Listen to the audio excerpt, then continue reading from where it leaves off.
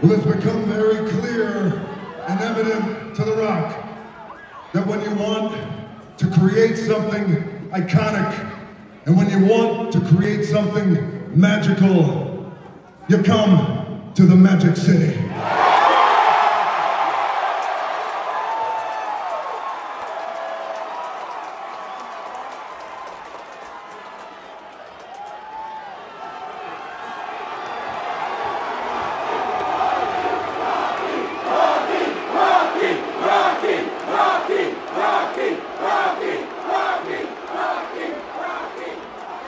This is a city deep in history.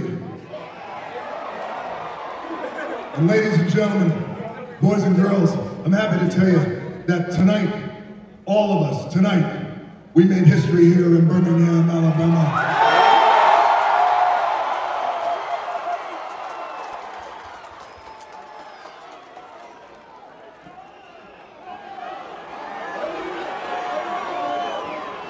Birmingham, I thank you. I love you.